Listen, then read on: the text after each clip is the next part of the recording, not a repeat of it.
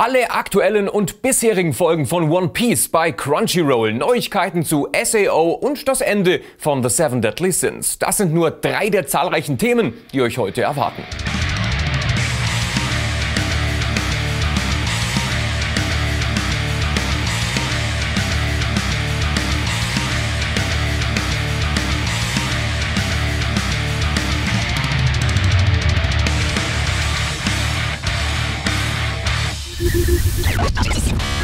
Vor einigen Tagen erschien mein Debütroman Herz aus Stern und am Freitag wird es noch eine Live-Lesung in München geben. Alle Infos dazu findet ihr in der Videobeschreibung. Und natürlich werde ich mit meinem Buch auch auf der Leipziger Buchmesse unterwegs sein. Und zwar am Freitag und Samstag je mit diversen QA-Panels und Signing-Sessions. Hier trefft ihr mich jedoch nicht allein, sondern vielmehr wird auch die liebe Rayhan mit dabei sein. Wir schenken euch coole Sachen, unter anderem gibt's diese Shikishi, die wir euch natürlich sehr gerne signieren werden. Und dann haben wir noch ein weiteres, echt cooles Giveaway. Lasst euch überraschen. Die genauen Zeiten findet ihr nochmals in der Videobeschreibung. Wir sehen uns, wenn ihr Lust habt, in Leipzig.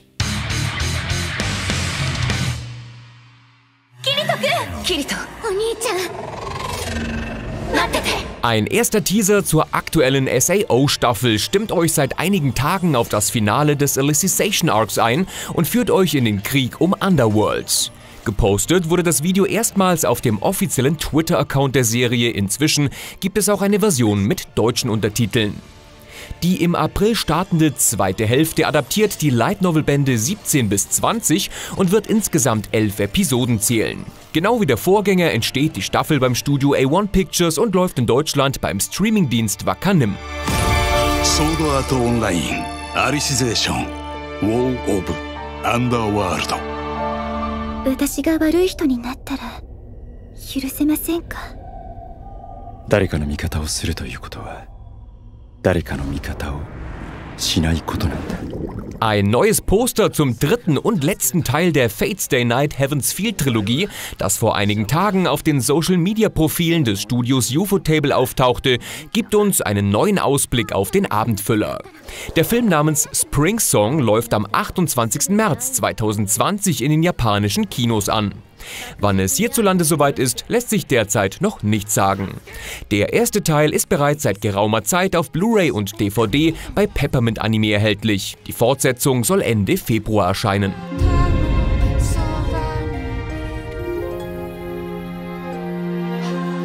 Mahiru no tsuki, kagayaki.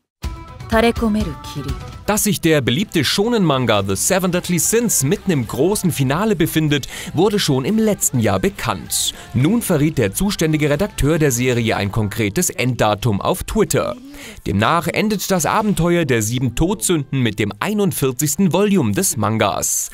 Auf dem Cover von Band 40 wird diese Info bestätigt. Wann genau der letzte Band in Japan erscheint, steht im Augenblick noch nicht fest. In Deutschland befindet sich die Serie bei 29 Bänden. Zumindest uns bleiben die Sünden also noch eine ganze Weile erhalten.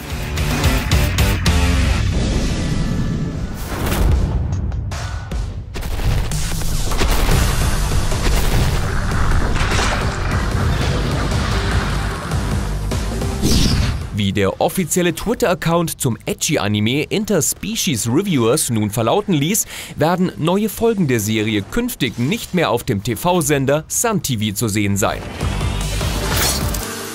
Damit reiht sich die Sendeanstalt in die Kontroverse um den Anime ein, der bereits von US-Publisher Funimation, der nordeuropäischen Wakanim-Division und Tokyo MX selbst in der zensierten Fassung aus dem Programm genommen wurde. Grund dafür sind die expliziten sexuellen Darstellungen der Serie. Der deutsche Simulcast bei Wackernim bleibt davon zumindest bislang unberührt und liefert weiterhin jeden Samstag um 16 Uhr eine neue Episode. Der umstrittene Titel dreht sich um eine Truppe aus Inspektoren, die innerhalb einer klassischen Fantasy-Welt Bordelle der unterschiedlichsten Monstermädchen austesten wollen. Eure Meinung zum TV-Rausschmiss gerne mal in die Kommentare.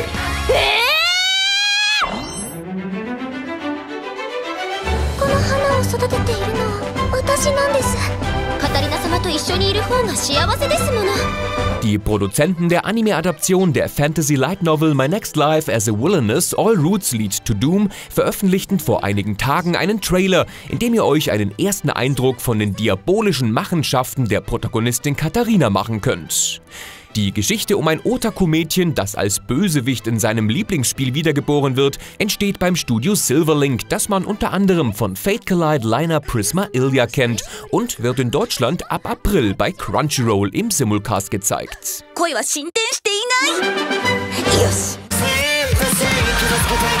Ohio. Auf dem YouTube-Kanal des Fuji TV Programmblogs Neutamina tauchte nun ein weiterer Teaser zum neuen Psychopath-Film mit dem Titel First Inspector auf. Neben weiteren Szenen aus der Fortsetzung bietet euch der Clip außerdem die Gelegenheit, in das Ending reinzuhören. First Inspector setzt die Geschichte der dritten Psychopath-Season um die mysteriöse Fuchsjagd fort und soll am 27. März in den japanischen Kinos starten. Zwei Wochen später wird der Abendfüller dann weltweit bei Amazon Prime zur Verfügung gestellt.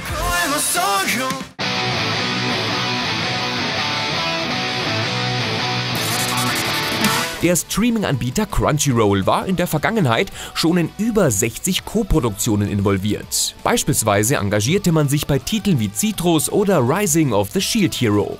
Nun verkündete der Service acht neue Crunchyroll-Produktionen. Einige davon stammen von japanischen Studios, wie etwa der Kultschmiede Mappa. Drei der Serien, wie die übernatürliche Romanze Inspector, die in der aktuellen Season zu sehen ist, sind bereits seit einiger Zeit bekannt. Dazu gesellen sich Titel wie die Vampir-Fantasy-Geschichte Noblesse oder die Endzeitserie Freak Angels.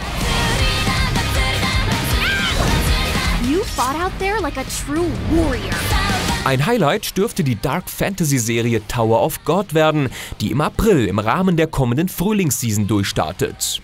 Auf ninotaku.de beleuchten wir alle neuen Crunchyroll Originals ganz ausführlich für euch. Einen Link gibt's in der Infobox und mehr Crunchyroll News gibt's im Laufe der Sendung.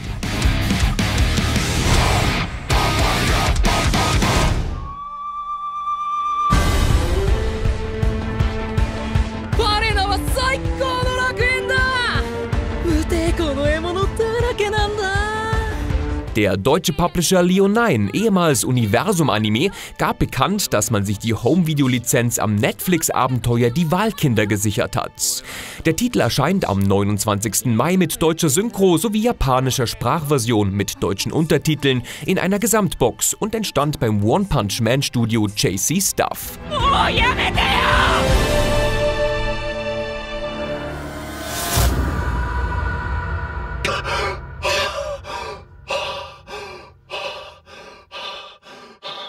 Und gleich nochmal Leonine Anime.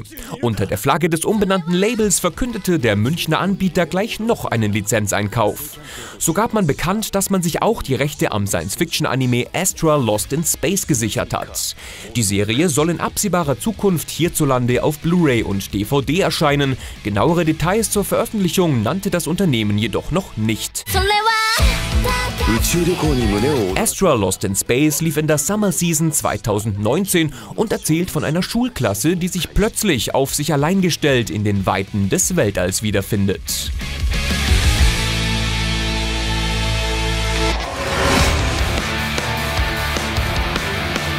That mast must be destroyed and its master must be reduced to ash. Vor zwei Wochen habe ich auf meinem Kanal in einem weiteren Teil meiner Videoreihe Die fabelhafte Welt der Anime ausführlich die Anime-Strategie des Streaming-Dienstleisters Netflix erläutert.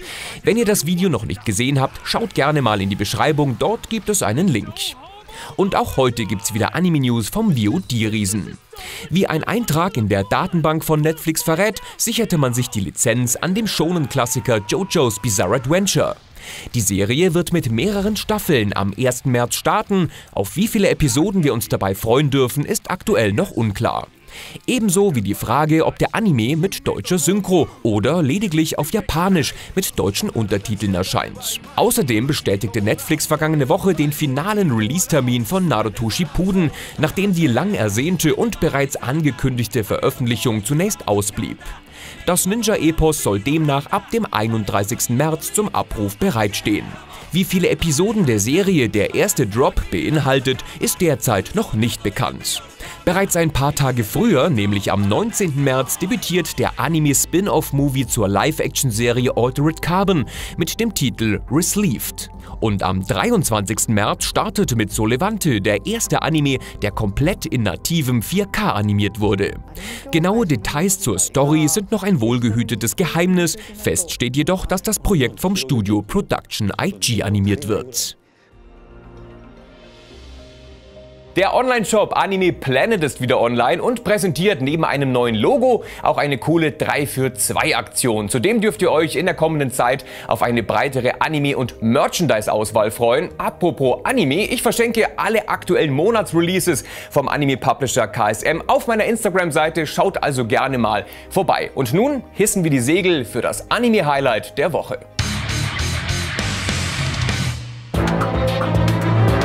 Der Streaming-Anbieter Crunchyroll ließ am Wochenende eine gewaltige Bombe platzen.